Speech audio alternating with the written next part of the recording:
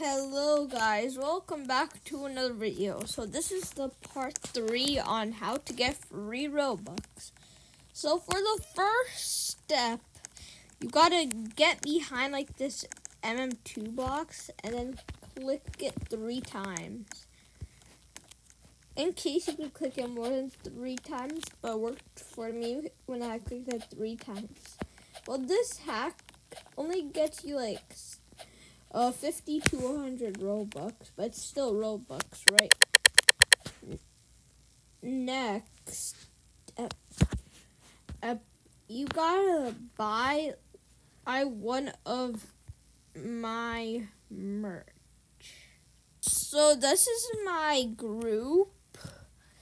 And right here is the merch. You just gotta buy one of these. I recommend the 20 Robux one that's the highest chance of getting the Robux. And it's only 50 to 100 Robux. So if you do do it, don't expect to get like thousands of Robux. I am not that rich, but I'll give you like 50 to 100 Robux. And yeah, bye guys.